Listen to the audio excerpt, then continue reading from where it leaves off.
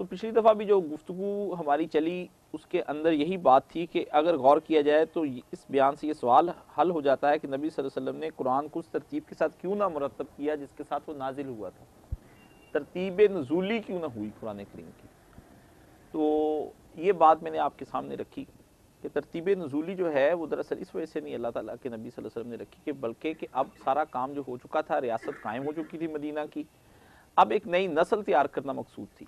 नई नस्ल की तैयारी के लिए, उनकी जहनी आबियारी के लिए, उनकी तहजीब के लिए, फिर एक ऐसे नसाब की ज़रूरत थी ताकि वो अच्छी तरह से उस नसाब को समझ ले और आइंदा नस्ल इंसानी जो है, उसकी इमामत के लिए तैयार हो जाए और एक साल तहजीब बर्पा हो सके, जिसे मिलत इब्राहिम के नाम से हम मसूम करते हैं। हमें कुरान करीम में जिस मिलत की तरफ़ रजू करने का हुक्म दिया गया है या जिस मिलत के बारे में हमें बताया गया है कि वो उसको तुम्हें असर नौ ज़िंदा करना है या जिसकी तकलीद करनी है तो वो मिलत इब्राहिमी है। इस पर आपको याद होगा कि मैंने पीछे तीन माह लगा के आपको इसके जुमे के खुतबे जो दिए हैं, उसमें मैंने भरपूर इसकी वजाहत करने की कोशिश की। लेकिन असल उसके अनासर क्या हैं, अवामल क्या हैं, उस पर अभी अलग एक मौजू चलेगा। वो मुझे तो लगता है कि वो साल एक या दो साल या तीन साल तक चले चलेगा। क्योंकि मौजू बड़ा अदक है। इस वक्त दुनिया की जो 22 बड़ी तहजीबें, जो इंसानी तारीख के अंदर उनके सामने जिनको वो अपने इदराक में ला सके हैं जिस पे उन्होंने तबसरे किए हैं दुनिया की तकरीबन 22 बड़ी तहजीबें हैं। ये मोजोदाड़ो है, हड़प्पा है, टेक्सला है, आप देखते हैं यूनान की तहजीब है, रोम की तहजीब है, मिस्र की तहजीब है, खुद चंद्र मौर्य गुप्त के दौर की, ये अशोक की, ये सब हिंदुस्तान की, उसके बाद यूरोप की अपनी तहजीब। ये बर, बरबर लोगों की जो स्पेन के अंदर ये तहजीबें थी। इन्होंने बड़े बड़े काम किए बड़े बड़े कारनामे इनकी इमारतें ये हराम मिस्र आप जाकर देखते हैं तो दंग रह जाते हैं। या हिंदुओं के वो पुराने मद्रास के जो है जंगल वहाँ पर चले जाएँ और उनके जो मंदिर हैं वो देखें या फिर वो जो एक इलाका है वहाँ पर उनके गार बने हुए हैं और गारों के अंदर वो जो उन्होंने बनाया हुआ वो दंग रह जाता है इंसान के। पूरा पहाड़ी सिलसिला है उसके अंदर उन्होंने जो काम किया है जो अपनी तहजीब बर्पा की है अपने मंदिरों को अपने घरों को जैसे वो रहते थे वो इंटरनेट पे आप तस्वीरें देखिए तो आप दंग रह जाएँगे कि वो है क्या? बाहर से वो बिल्कुल आज भी पहाड़ी नज़र आते हैं और उनके ऊपर क्या है सब्जा है। लेकिन उनके लिए ऐसे पुरपेच रास्ते बनाए उन्होंने उधर वहाँ तक रहने के लिए कि आप दंग रह जाते हैं इंसानियत तो ये तहजीबें थी। हमारी भी तहजीब का आगाज़ हुआ। हमारी भी तहजीब को अल्लाह ने पहले से एक तश्कील दे के इसके अनासर को इब्राहिम हज़रत आदम तक बताया। लेकिन इब्राहिम ने जो काम किया वो चूँकि बिल्कुल करीब की तहजीब थी ये आर्या की, ये फ़िरौन की नमरूद की तहजीब जो है यहाँ पर। वहाँ से उसके मुकाबले में जो हत इब्राहिम उठे हैं और फिर उन्होंने तहजीब इब्राहिमी को बर्पा किया और उसके लिए क्या कुर्बानियाँ दी, वो सारा का सारा कुरान करीम में लिखा हुआ है। अब वो तहजीब ख़त्म हो गई तो उस तहजीब को दोबारा से उसकी निशात सानिया करने के लिए नबी करीम वसल्लम पर यह कुरान मजीद उतारा गया और आपको हुक्म दिया गया कि अल्लाह ताला ने जो तहजीब का हुक्म दिया है, जिस मिलत के बर्पा करने का आपको हुक्म दिया, वो मिलत इब्राहिमी है, उसको ज़िंदा करें और उसकी बुनियादों पर एक साल माशरे को वजूद में लाएँ। नबी करीम वसल्लम ने उसके मुख्तलिफ़ अदवार जो हैं, उनमें से गुजर करके आप सलाम इस बात में कामयाब हो गए, अल्लाह ताला की मदद और नुसरत के साथ। और जुमला उस वक़्त के जो मोमिन थे, उन्होंने नबी सलाम की ज़ाहिरन मदद की और आपकी दावत को कबूल फरमाया साहब कराम रजवान अजमाइन ने। तो उस तहजीब को उन्होंने मदीना के अंदर, मक्का के अंदर नहीं, मदीना के अंदर, मक्का तो नबी सलाम को निकाल चुका था। मक्का तो निकाल चुका था। इसलिए अल्लाह के रसूल वसल्लम ने मदीने से बहुत इश्क फरमाया। मदीने का ये जो नातों में ज़िक्र होता है, इसको मामूली ना समझें। ना इसका कोई लोग अक्सर कहते हैं वो मदीने की नाते पढ़ते मदीने का लफ्ज़ बोलते हैं भाई, मदीना कोई छोटी जगह नहीं है। मदीना हमारी साल तहजीब की बुनियादों की अवलीन दरसगाह है। इसलिए जितना मक्का मौजमा का हम ज़िक्र करते हैं और अदब एहतराम के साथ, उसी तरह हमें मदीना मुनवरा का भी ज़िक्र करना चाहिए। मदीना मुनवरा के के अंदर रहने और उसकी दुख और उसकी तकालीफ को बर्दाश्त करने के बाद अल्लाह के रसूल ने जन्नत की बिशारत दी उस आदमी को, ठीक है? और वहाँ के जानवरों को अगर हम सताते हैं या वहाँ के जानवरों के साथ हम मिसबिहेव करते हैं, उसके इंसानों के साथ मिसबिहेव करते हैं, ये भी हमें अल्लाह के रसूल ने कहा, अल्लाह की लानत हो उस पर जो मदीने के लोगों को डराए डराए मदीने के लोगों को। और ये कोई मदीना को मूली जगह नहीं है। वहाँ दस साल नबी करीम वसल्लम पर कुरान उतरता रहा है। ठीक है? तो आप सलाम ने ये वहाँ पर काम तो इसकी तरतीब जो है, वो एक नज़रिए और अमल पर रखी गई कि पहले उसे थ्योरी पढ़ाई जाएगी उस आदमी को, कि पूरा इसको, उसकी ईमानियात सिखाई जाएगी। अलहम शरीफ का कभी ज़िक्र करूँ तो आप दंग हो जाएँगे। पूरे का पूरा कुरान शरीफ उस अलहम शरीफ के अंदर है और बाकी सारा कुरान शरीफ जो है वो उस अलहम शरीफ की तशरी है। उसकी एक्सप्लेनेशन है। और वो मसालों के साथ, जैसे हम किसी को कोई बात सुना रहे होते हैं, नज़रिया बता रहे फिर बाद में मसाले देना शुरू कर देते हैं, ताकि इसको और समझ आ जाए।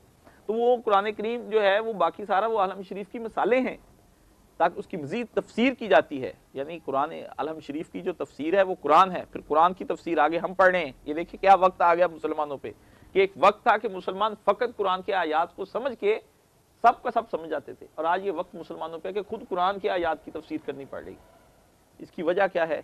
हमारा वो निज़ाम तलीम, जिस पे जो हमें दिया गया, है, जहाँ से मैं आज ही ज़िक्र कर रहा दोस्त आए उनसे मैंने कहा कि एक बात बड़ी पते की है, आपको बता देता हूँ कि पूरे दुनियावी इल्म हासिल करने के बाद, डॉक्टर, इंजीनियर, सब कुछ बन लेने के बाद, फिर आपको मदरसा की तलीम छोड़ के आपको दुनियावी तलीम स्कूलों की दिलाई जाती है, लेकिन आपकी रूह की तश्नगी जो है वो खत्म नहीं होती। प्यास खत्म नहीं होती। आप फिर उन्हीं मसाइल के अंदर जाके पड़ जाते हैं, जिन मसाइल का से जान छुड़ाकर आपको स्कूल में दाखिल किया गया था। फिर आप दीन वाली बातें पूछने के लिए आ जाते हैं। फिर उसी तरह यानी इंसान के अंदर की रूह और उसके जहन की जो प्यास है, वो अगर बुझाता है तो कौन बुझाता है? दीन बजाता है। दीन के बगैर नहीं वो काम चल सकता। कितना मुताला कर लेते हैं, डॉक्टर बन जाते हैं, इंजीनियर बन जाते हैं, आते उलमा के पास ही हैं। मिल ऑनर बन जाते हैं बड़ी बड़ी मिलें बन जाती हैं, दुकानें बन जाती हैं। हैं जी? मंडियों में बड़ी बड़ी आड़तें करते, आते फिर मौलवियों के पास हैं। हम्म? फिर जाकर अदालतों के अंदर फंस जाते हैं, तलाक निकाह के मसले वहाँ पे पड़ जाते हैं, फिर मौलवियों के पास आते हैं, कहते हैं, कोई ऐसा कानून हमें बता दें क्या इस्लाम इस बारे में रहनुमाई करता है? तो जितना मर्ज़ी नफरत कर ले मौलवी से, उलमा से, इस्लाम से, दीन से, आपकी रूह की प्यास जो बुझाता है, वो फकत दीन का इल्म बुझाता है और कोई इल्म दुनिया का नहीं बुझाता। आप इंसान हैं, आप परेशान हैं। भी मेरा मैं पैदा नहीं हुआ था तो तब कायनात में कौन सी क्यामत आ गई थी? हुँ? चल ही रही थी। अगर मैं आ गया हूँ, तब भी चल रही है। अगर मैं चला जाता हूँ, फिर भी चल रही है। तो फिर मैं क्या हुआ? मैं तो कुछ भी ना हुआ। मैं तो कुछ भी ना हुआ। तो आपकी इंपॉर्टेंस के लिए अल्लाह ताला ने इस कुरान करीम को उतारा कि जिसका मैंने कहा था मरकजी मजमून क्या है? इसका टॉपिक क्या है? इंसान, शुक्र है अल्लाह ने आपको याद रखा। इस पे अल्लाह ताला का लाख लाख शुक्र अदा करना चाहिए कि अच्छा हाफजा दिया, जिसमें ये बात महफूज रह गई आपकी। तो क्या था? हमारा इंसान था।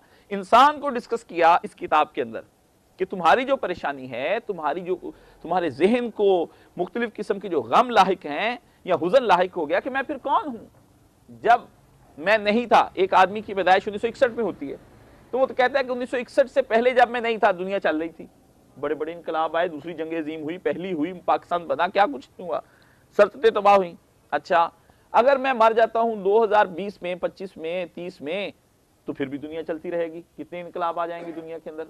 अच्छा अब जबकि मैं रह रहा हूँ इस दुनिया के दरमियान में, दुनिया अब भी चल रही है। मेरे बगैर अगर मैं ना भी कोई काम करूँ, फिर भी चलती रहेगी। तो फिर मैं क्या हुआ? लो, ये इससे पता चलता है, आदमी कुछ भी नहीं है। तो जब कुछ भी नहीं है तो आप किसके तकबर के अंदाज़ा लगा सकते हैं? है, कुछ भी नहीं। इसके बगैर भी चलती थी, चलती है, चलती रहेगी। लेकिन ये बातें इतनी करता है, कहता मैं पता नहीं क्या फने खान हूँ। मुतकबर इतना है। तुम हमको जानते नहीं उनको जानते हैं। आप तो पहले कभी थे ही नहीं। अल्लाह ने कहा अल्लाह शहीद मजकूरा, तुम थे ही नहीं। हम जानते हैं, तुम नहीं कुछ थे। तुम कुछ भी नहीं थे। वो भी एक वक्त तुझ पर है, इंसान कुरान में जतलाया अल्लाह पाक ने। वो भी एक वक्त गुजरा जब तू था ही नहीं। 1980 से पहले तो था ही नहीं। 82 से पहले नहीं था। 90 से पहले नहीं था। 61 से पहले 47 से पहले था ही नहीं। तो भाई हम तो तुम्हें जानते हैं और अब भी तुम्हारी ये हालत है कि पेट की हवा अगर बंद हो जाए या पेशाब बंद हो जाए, फिर भी तो कुछ नहीं है फिर भी तेरी आजी देखने के काबल होती फने खान की हुँ? हम्म? तो ये सारी चीज़ें जो थी, इन सवालों को डिस्कस करने के लिए अल्लाह ताला ने इस कुरान करीम फुरकान हमीद को उतारा और उसमें बताया ए मेरे इंसान, या अब्दी, मेरे प्यारे बंदे, पहले तो हमारी जिनकी कोई औकात नहीं, उनको अपनी मलकी ज़ाहिर किया मेरे बंदे आप मेरे हैं। तो जो अल्लाह का होता है, वो फिर कितना कीमती होता है? बाहर देखो तो अहमियत नहीं, लेकिन जब मालिक खरीदने पर आए तो अहमियत कितनी बढ़ जाती है? तो कहा, मेरे बंदे है मेरे बंदे, पहले तो इस पे। कहा, तुझे कोई, तू समझता तेरी कोई अहमियत नहीं है, लेकिन मैं तुझे डिस्कस करूँगा। और उस किताब में डिस्कस करूँगा जो आखिरी किताब होगी। और जो उस शख्स के, जो दुनिया का हासिल कायनात है, उस पर उतारूँगा, हज़रत मोहम्मद मुस्तफ़ा सल्लल्लाहु अलैहि वसल्लम की जात पर और फिर मैं तुझी को नहीं अकेला, तेरी कुल्ले नस्ल को महफूज करने के लिए, अपनी रहमतों से नवाजने के लिए जिसे जन्नत कहते हैं, मैं तेरा इंतज़ाम करूँगा ताकि पूरी कुल इंसान, आप ना घबराएँ कि अल्लाह ताला के सामने ये सात अरब इंसान कहाँ रखेगा उनको। ये बिल्कुल घबराने की कोई बात नहीं। कुल की कुल इंसानियत और कुल की कुल मखलूकत तीस हज़ार स्पीशीज है कुल की कुल। एक एक जन्नत मांगे जिसकी ये ज़मीन आसमान सबको दे, दे, देता है देगा सबको दे सकता है। कोई फ़र्क ही नहीं उसके खजानों में और इतना फ़र्क भी नहीं है कि जितना के एक मक्खी का पर जितना जो है वो फ़र्क आ जाए उसके खजानों में कोई कमी नहीं है। फिर वही भरे के भरे हैं। वहाँ सबको नवाज़ दे। जो चाहे आप मांगते हैं आपको दे दे उस पर भी सबको दे दे। कोई मसला नहीं उसके लिए। कुल की कुल इंसानियत के लिए। ठीक है ना? तो उनको अपने सिर्फ़ बरकत देने के लिए इस ज़मीन पर, जिसकी वसत का कोई अंदाज़ा ही नहीं है। वसत कैसे का इंसान ने इसका कतर निकाल लिया जी, इसका रदास इतना ये वो। नहीं, कुल इंसानियत को इस पे जगह देने के लिए बकायदा का यहाँ भी तुम इंजॉय करो और वहाँ भी आके इंजॉय करो। खुदा का कोई इरादा नहीं इस ज़मीन के अंदर इंसानों को तंग रखने का। ये सारा एक फसाद है जो लोगों के जहनों में उतारा गया कि अल्लाह ताला की ये कायनात क्या है, दुनिया की समझ कोई। ना ना, आपके इंजॉय के लिए बनाई कहा कि इसका इंजॉय लिमिटेड है, महदूद है, इसका इंजॉय उसके लिए तुम्हें स्ट्रगल करनी पड़ेगी। एक साले माशरा बनाना पड़ेगा। अब मुझे बात बताएँ, एक मर्द है, उसको औरत की हाजत है। तो क्या मना कर दिया उसको कि तुम औरत को जो है वो अपने इस्तेमाल में नहीं ला सकते? नहीं, उसको कहा, शादी करो। वही शादी शादी करो, उसको एक जायज़ जैसे मैं कहता हूँ वैसे करो। शादी कर लो, तुम्हारे तो इस्तेमाल करो, तुम्हारी तुम्हारी बीवी है, ठीक है?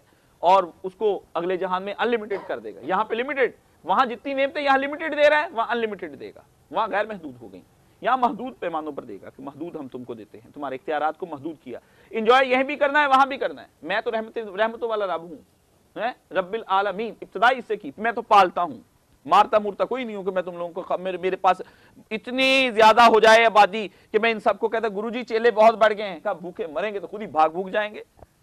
है जी? ऐसा मेरे यहाँ कोई मसला नहीं है। मेरे यहाँ तो ये है कि जितने बढ़ जाएँ, जितने मुझसे ले लें, मैं फिर भी और देने को तैयार बैठा हूँ कि और फिर नाराज़ होता हूँ इस बात पर, ये मांगते क्यों नहीं है? इस पे ये ये कैसा सखी है कि जिसको इस बात पर गुस्सा आ जाता है कि ये मांगते क्यों नहीं है? कुछ ऐसे भी सखी हैं, मांग ले तो गुस्सा। कितनी बार तू बाप से ही मांग ले, बाप होता है। माँ से दस दफ़ा बीजा माँ कहती, देखो बेटा, बेटे ज़रूर हो, लेकिन ये लल्लो तो लल्लो मैं नहीं गुजारने दूँगी। अल्लाह कहता है कि नहीं, मेरा बंदा अभी माँगता क्यों नहीं है? क्यों मांगना बंद हो गया? यार क्या वजह हुई? इसको चाहिए मांगे। और मांगने की पूरी पूरी हमारी जो दीन की बुनियाद है, वो मांगना है। वी आर बैगर हम सब साइल हैं, फकीर हैं अल्लाह तला के। कुरान करीम में ज़िक्र है कि तुम सब फकीर हो। सिर्फ़ एक अल्लाह, मैं गनी हूँ अकेला। इस बात पर अल्लाह ताला लेकर आना चाहते हैं लोगों को। तो इसको, इस साले मुआशरे को उठाने के लिए फिर अल्लाह ताला ने इस कुरान करीम को उतारा और कुरान करीम की तरतीब को फिर बदला। बदला उसको। ये आजकल एक मसला चला हुआ कि रियासत को का मज़हब नहीं होना चाहिए। अल्लाह अकबर। मज़हब, रियासत तो रियासत किस शय का नाम हुई? रियासत कोई भी कानून बनाए, कोई भी नज़रिया इख्तियार करे, चाहे सेकुलरिज्म क्यों ना इख्तियार करे बर बरकैफी उसका मज़हब है। जिस तरीके पर कोई रियासत चलती है, वो तरीका उस रियासत का मज़हब होता है। उसके जिन कवानीन पर वो अमल करती है, वो उस रियासत का मज़हब होता है। चाहे कुछ भी तरीका इख्तियार करे, जुल्म का ही क्यों ना कर ले, उसका मज़हब होता है। ये कैसे मुमकिन है कि इस्लाम अपने लोगों को ज़िंदा रखता है और उनको एक निज़ाम हयात देता है और कहता है कि रियासत से लग करके चलाओ ये कैसे मुमकिन है? ये बिल्कुल गैर फलसफियाना और गैर मनतकियाना जहन की अक्सी तो हो सकती है। लेकिन एक फलसफियाना और मनतकियाना जहन की अक्सी नहीं करता ये दिमाग। इसको दुनिया की किसी किस्म पर आप परख ले। तो पहले नई जनरेशन को तैयार करने के लिए कुरान करीम की तरतीब को इस तरह से रखा गया कि नजूली बाकी तरतीब ना रही। यानी पहले तो इकरा बिस्म रबी उतरी, लेकिन नहीं। पहले अलहम शरीफ, बेसिक कॉन्सेप्ट उसके जहन में बिठाए गए कि देखो, अल्हम्दुलिल्लाह, पहले तो ये बताया कि तुम क्या हो? तुम अपनी, अपने आप का तयन करो, तुम क्या हो? तुम खालिक हो? नहीं। तो क्या हो? दूसरी तो एक ही सूत्र मखलूक हो। तो मखलूक का काम क्या होता है? शुक्र बजा लाना, तारीफें करना। किसकी? जो खालक इसलिए अलहम से जुड़ा है ये लफ्ज। ये इंशाला उसके मौका आया तो आपको बताऊँगा, और आप कहेंगे कि वल्लाही सुबहान अल्लाह सुबहान अल्लाह अल्लाह तेरा कलाम अगर इनसे ना शुरू होता तो फिर किन लफ्जों से शुरू होता? दिल गवाही देंगे। मुसीबत तो इस बात की है कि कोई हमें यह नहीं पढ़ाता कि ये लफ्ज शुरू में लाए क्यों गए हैं। कुरान करीम का एक एक लफ्ज एक एक जेर एक एक जब एक एक शोशा बिल्लाही वल्लाही, तल्लाही, मैं खुद कहता हूँ कि उसके अंदर हिकमतें ही हिकमतें हैं, हिकमतें हिकमतें हैं। हमारा ये छोटा सा सवा शेर का शेर का, पौने शेर का दिमाग शायद उसको ना बर्दाश्त कर पाए। इसलिए तो वो दुनिया के सबसे कीमती दिमाग और सबसे कीमती कल्ब कल्ब मोहम्मदी वसल्लम और कल्ब जहन मोहम्मदी वसल्लम पर उतारा गया। अल्लाह ने अपने नबी के अंदर जो जौहर रखे, इंसानियत के, बशरियत के तकाजों के मुताबिक, वो सारी कायनात में सबसे ज़्यादा जो अफजल जौहर था, वो नबी करीम वसल्लम का जहन मुबारक था और आपका कल्ब मुबारक था। फिर उस पर इंसानियत का वो कलाम उतारा कि जिसको अल्लाह कहते हैं, अगर हम उतार देते इस कलाम को पहाड़ों के ऊपर तो फिर वो क्या होता? वो मारे जलाल इलाही के पाश पाश हो चुका होता। ये कल्ब मोहम्मद पर उतरा है सल्लल्लाहु अलैहि वसल्लम पर। जहन मोहम्मद पर इसकी तजलियाँ हैं। इसलिए कोई समझता है कि ये कुरान करीम जो है मामूली इसकी तरतीब इधर से इधर इधर से इधर रख दी गई, वो अकल का अंदा है। उसने मुरतब अंदाज से इसको सोचने की कोशिश ही नहीं की है। वो कुरान करीम को समझता है कि ये गैर मुरतब किताब है। ठीक है? तो हमने आपको बताया कि पहले तरतीब इसलिए रखी गई कि जैसे हालात थे, जिन हालात में उतारा, वैसे वैसे खुतबात को उतारते गए। दुश्मनों की फौज बढ़ रही है। इस तरह का कलाम किया गया। कि आपके अंदर जज्बा पैदा हो जाए कि अभी हमें लड़ना है। और अब दुश्मनों की फौज हम पर चढ़ने वाली है, करीब आ रही है। अब और जज्बे का और तरीके से खिताब किया जाना था। फिर कहा गया, अब दुश्मनों की फौज सामने है।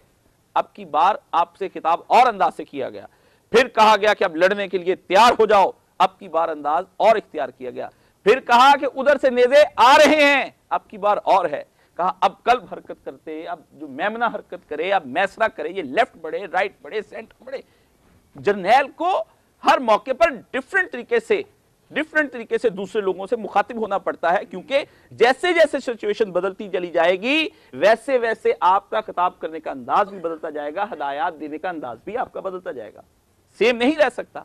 इसलिए उन हदायत का जो आपको खिताब किए गए, उसके लिए ज़रूरी था कि कुरान करीम की वो तरतीब रखी जाए जो तरतीब नजूली कहलाती है, जो पहली वही के ज़रिए से हम पर उतरी है।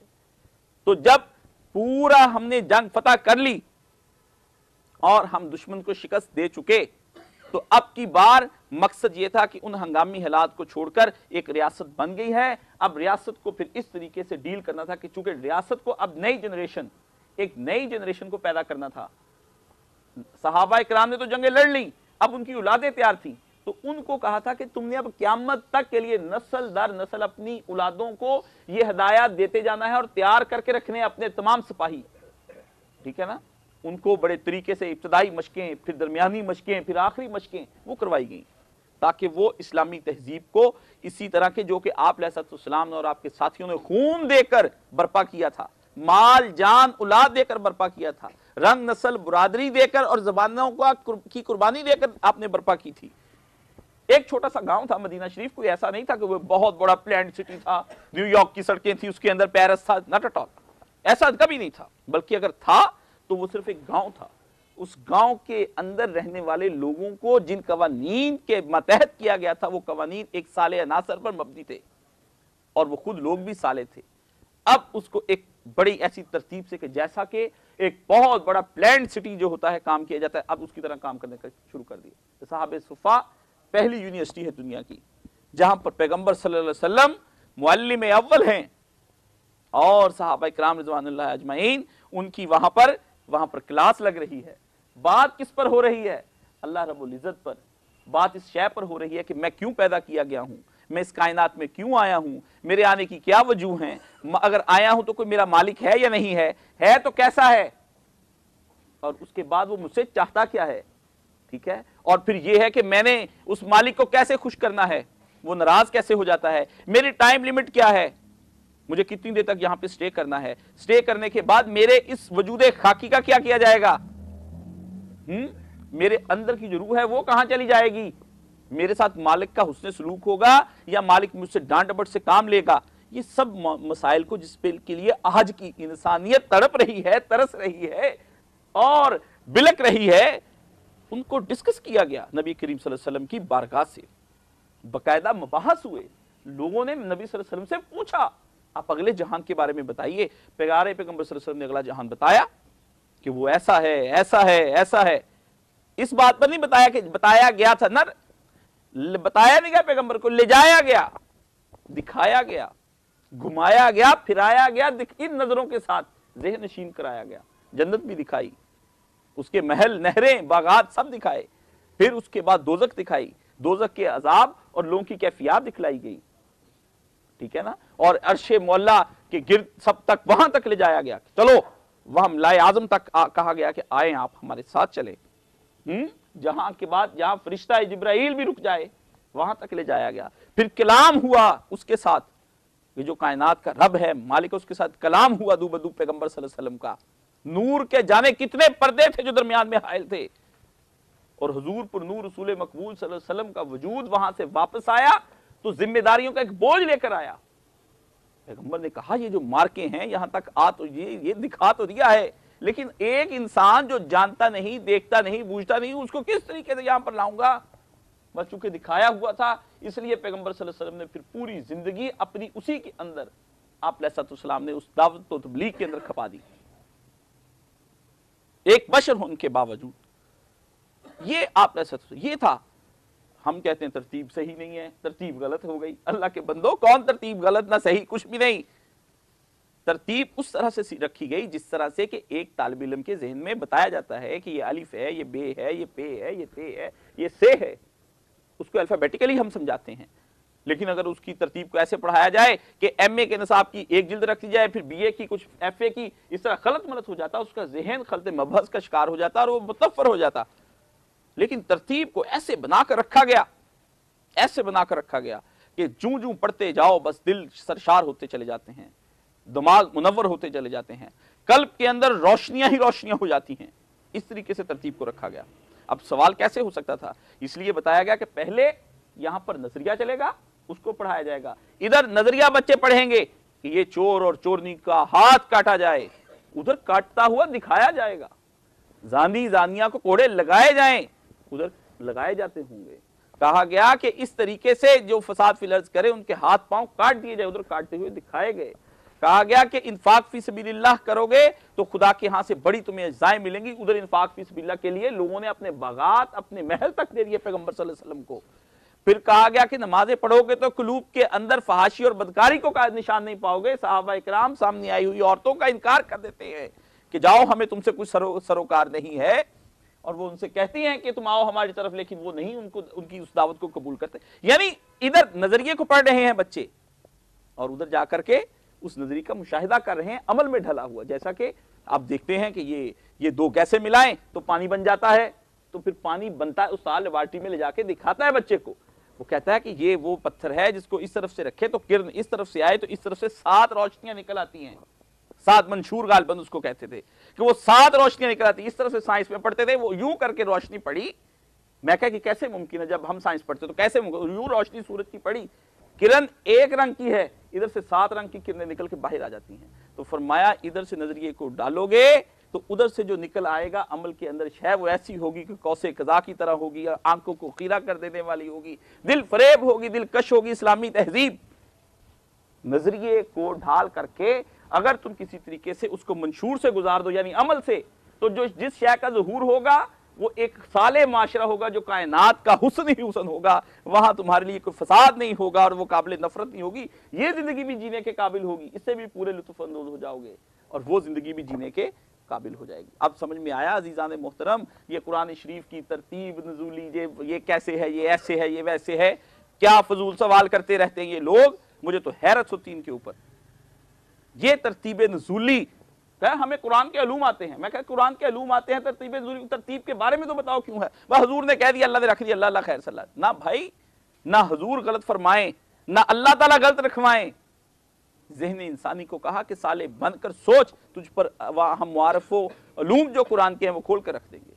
तो इसलिए ये आपको बताया गया कि पिछली उम्मतों के बारे में बताया गया कि बेगाना होकर ना सोच। इंसानों ने अगर कभी जहर पिया है, मिलकर कुफर का जहर पिया है तो उनकी फिर तबाही हुई है। अगर इंसानों ने कभी, जैसे यूनुस इस्लाम की कौम, तौबा कर ली तो फिर उस कौम को हमने दुनिया में इज़्ज़त और नामवरी अता की है। हम्म? मूसा की कौम ने जब अतात की तो फलस्तीन जैसा इलाका जो है, वो उनको दे दिया। सर, सब्जो शादाब, वहाँ खेतियाँ होती थी। उस वक्त कहा गया, दूध और शहद की नहरें बहती थी। इस तरह मुहावरे तुरात में इस्तेमाल किए गए।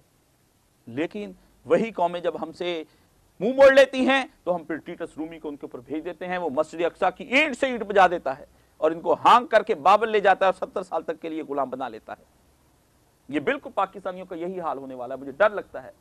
जैसे उनको फलस्तीन दिया गया और खुदा के कवानीन को सही मानों में नाफिज ना कर सके तो उनका फिर क्या हुआ अशर?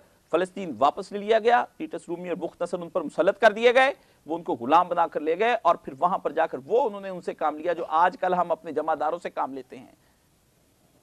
इस कौम के जो लक्षण है, वो जमादारों की तरह काम करने वाले होते जा रहे हैं। ये सूरत हाल है, खुदा की नेमतों से जब मुल्क, खुदा की नेमत है, ये जो हैया सलाह की, इधर से आवाज़, उधर से आवाज़, उधर से आवाज़ आती है।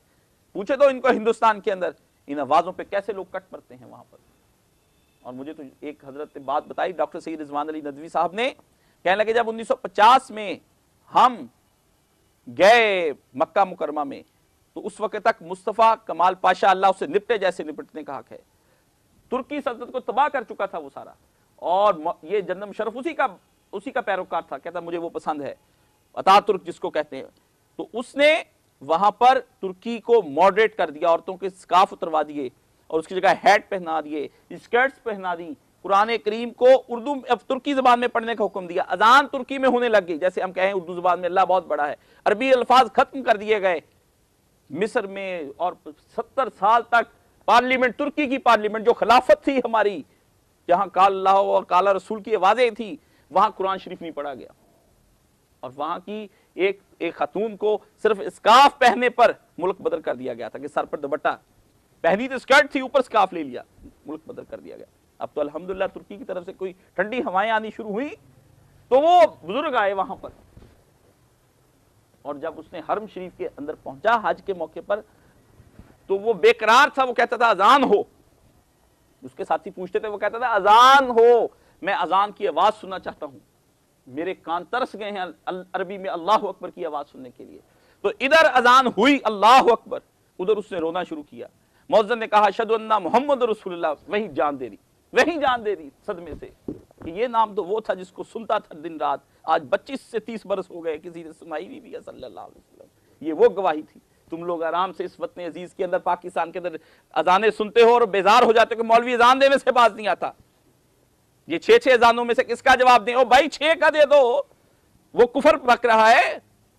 वो वो कलमे कह रहा है कि जिन पर जान दो तो अल्लाह के प्यारे सल्लल्लाहु वसल्लम ने फरमाया कि जिसका आखिरी कलाम ला हुआ फदाखल जन्ना वो जन्नत में दाखिल हो गया। जन्नत की जमानत। छह कलमों से बेजार हो गए। दस मिनट में खुदा का चार तरफ़ से आवाज़ें आई तो परेशान हो गए मुसलमान। इसलिए ये तहजीब की हिफाजत करना कुरान की तरतीब, तहजीब की हिफाजत की तरफ़ इशारा है। तहजीब की तरफ़ इशारा है कि ये मामूली नहीं, तरतीब नजूली और दूसरी तरतीब तोकीफी दोनों को इशारा है कि वो देखो, वो तहजीब बर्पा करनी है तुमने। ये कुरान का, कुरान के अंदर तरतीब को इस तरह रखने का ये इशारा है। तो इसलिए इस चीज़ को मामूली ना समझे। फरमाया, अलावा बरी कुरान मजीद जिस तर्ज की किताब है, इसे अगर आदमी अच्छी तरह समझ ले तो उस पर ये खुद ही ये हकीकत मुनकशिफ हो जाएगी कि एक एक तरह के मजामी को एक जगह जमा करना इस किताब के मिजाज ही से मुताबकत नहीं रखता। सुबहान अल्लाह सुबहान अल्लाह सारे मसले एक जगह पे इकट्ठे कर दो जी तहारत के। सारे जगह एक ये चैप्टर वाइज किताब बनाए नहीं ये किताबें नेर चीज़ें दीगर इकबाल ने कहा था, किताब नहीं, ये कुछ और है, तुझे किताब नज़र आ रही है। ये मुर्दा जिस्मों के अंदर जान जो पैदा कर, रूह का काम करने वाली शय है। इसलिए तू कैसे कह सकता है मुस्लिम की ये किताब है? ये हरूफ नहीं, तेरे रब का वो कलाम है कि जो उसने आदम के अंदर फूका तो आदम के बारे में आया कि वो जीता, जागता, उठ खड़ा हुआ, बाइबल के अल्फाज हैं। बस खुदा ने कलाम को आदम के अंदर फूका। ये तो रात के अल्फाज हैं, हम पढ़ते थे। मुझे याद आए। तो फूका तो वो जीता जागता इंसान उठ रहा अल्लाह ने अपने कलाम से उसको हुक्म दिया कि हो जा जीता जागता। वो जीता जागता, रूह आ गई उसके अंदर। वो तो मिट्टी का एक पुतला था। वो कैसे हरकत कर सकता था मिट्टी का पुतला? खुदा के कुन ने उसको हुक्म दिया। तो कुन रूह बना। रूह बन के उसके जिस्म के अंदर से वो कुन ने हरकत की। आदम ने अंगड़ाई ली, जिसकी नस्ल तुम और मैं हो। अब वो एक कुन क्या है? यहाँ पर छह हज़ार छह सौ छियासठ छह हज़ार छह सौ छत्तीस, या एक सौ चौदह सूरे, पूरे के पूरे तुम्हारे अंदर फूक दिए।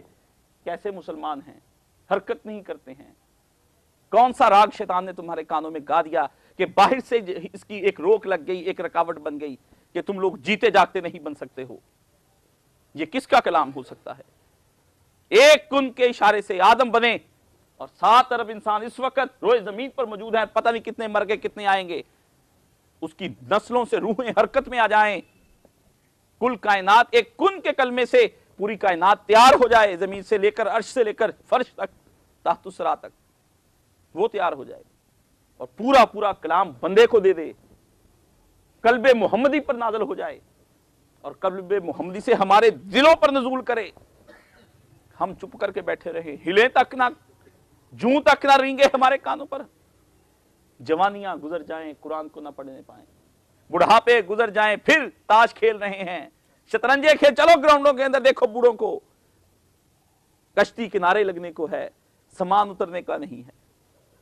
हम्म? माए थिरकती हैं, बच्चे नाचते हैं, बहनें कहीं हैं, भाई कहीं हैं, वैलेंटाइन डे मनाए जाएँगे। हम्म? मोहम्मद रसूलुल्लाह से वसूल कर लिया। आगे किसी को देख देने के काबिल नहीं है। एक आध नस्ल है, पता नहीं जाने क्या तमाशा होगा। खुदा वो दिन ना दिखलाए जब इस तरह के वक्त आ जाए पाकिस्तान के अंदर, कि हमारी आँखें कुछ और देखने लग जाए। इलाही कोई बाहिया माशरे को यहाँ पर तू हमें हमें बढ़ता पड़ता फूलता दिखा। हुँ? हम्म? और फरमाया कि इसके मिजाज ही नहीं रखता। इसके मिजाज का तो तकाजा यही है कि इसके पढ़ने वाले के सामने मदनी मरहले की बातें मक्की दौर वाली तलीम के दरमियान और मक्की मरहले की बातें मदनी दौर वाली तकरीरों के दरमियान। और इब्तदा की गुफ्तगुएँ आखिर की तलकीनात के बीच हैं। और आखिरी दौर की हदायत आगाज़ कार की तालीमत के पहलू में बार बार आती चली जाएँ, ताकि इस्लाम का पूरा मंजर जाम नक्शा उसकी निगाह में रहे और किसी वक्त भी वो यक रुखा ना होने पाए। छोटी छोटी इधर मक्का की बात, इधर मदीना की सूरत। कहते हैं, ये सूरत ये फलां जगह आखिर वक्त में उतरी तो ये मदनी सूरत के अंदर ये मक्की आयत क्या कर रही है? ना भाई कैसा मिक्सचर तैयार कर दो कि जहाँ से दो चार रकू पढ़ो, वहीं पर सारा नक्शा आँखों के सामने फिर जाए। सारा नक्शा आँखों के सामने, जहाँ से पढ़ो, जहाँ से पढ़ो। जिस सफे को खोलो, हर सफ़ा एक दास्तान हो। जिस सफे को खोलो, और दास्तान अधूरी ना हो, मुकम्मल हो। सुबहान अल्लाह हर सफे पे एक दास्तान, और दास्तान भी पूरी, अधूरी ना हो। तेईस साल का सफ़र और मोहम्मद पहले, हज़रत आदम से भी पहले के अहवाल कि जब तेरे रब ने चाहा, ये ढूंढते फिरते मुझे कहा तारीख बताएँ जी, हमारी तारीख क्या? कहाँ से तुम्हें तारीख बताएँ? जाहिलों को तारीख बताएँ? और जब तुम थे नहीं तो तुम्हारी तारीख तुम्हें कौन बताएगा? मैं मौजूद नहीं था। जब मैं पैदा नहीं हुआ था उस वक्त तो मुझसे पहले की तारीख कौन वो ही बताएगा जो उस वक्त मौजूद था। तो तुमसे पहले की तारीख को खुदा डिस्कस कर रहा है। कि मैंने फरिश्तों के दरमियान तेरा ज़िक्र किया। मैंने किया ज़िक्र। फरिश्तों ने सुनकर मुझे आगे से ये कहा, मैंने उन्हें कहा, ये। उन्होंने जवाब में कहा, नहीं, आप ही जानते हैं जो कुछ करना है। मैंने तुझे डिस्कस किया मलायाला के अंदर। बेशरम इंसान खुदा का खाता है और खुदा के सामने झुकता नहीं पाँच वक्त को। तुझे डिस्कस किया लोगों के दरमियान। ये अजीब मामला है, जिसको डिस्कस किया नुरानी मखलूक के दरमियान नूर नूर से बात करता है खाकी की। नूर नूर से बात करता है खाकी की। और खाकी को परवाह नहीं कि नूर की बात मैं कैसे सुनूं और कैसे पहचानूं। अजीब बात है। इसलिए जो लोग तरतीब के बारे में सोचते हैं, अपने जहनों से खुरच डालें कि ये एक मामूली बात है। मुस्तशरकिन और एंटियलिस्ट के छोटे मोटे एतराजात से घबरा जाते हैं। वल्ला ही अगर सामने आ जाए, हम कहते हैं, हम दावा रखते हैं, अल्हम्दुलिल्लाह अल्हम्दुलिल्लाह, खुदा के वजूद पर और मोहम्मद वसल्लम की तालीमत पर इतना नाज और फख्र है कि वो अपने आप को बच्चे महसूस करें हमारे यहाँ यहाँ बैठे हुए। उनको क्या पता? जिनको तो यही नहीं पता कि हमारी माँ कौन है, हमारा बाप कौन है, वो बताएँगे कि हमारा खुदा कौन है?